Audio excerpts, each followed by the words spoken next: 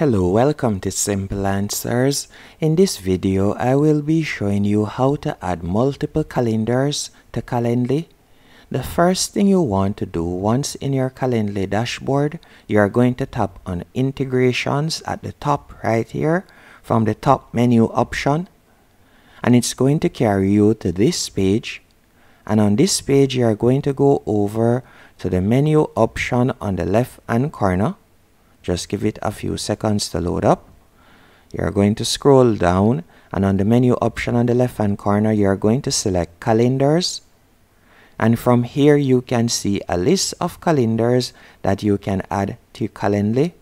So for example, let's say I want to add the Google Calendar. I could simply tap on that and after tapping on that you will be redirected to this page and you can simply tap on connect right there.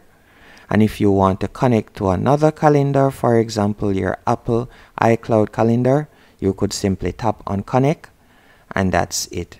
Hope you found this video helpful and informative. If you did be sure to hit the like button and subscribe and thank you for watching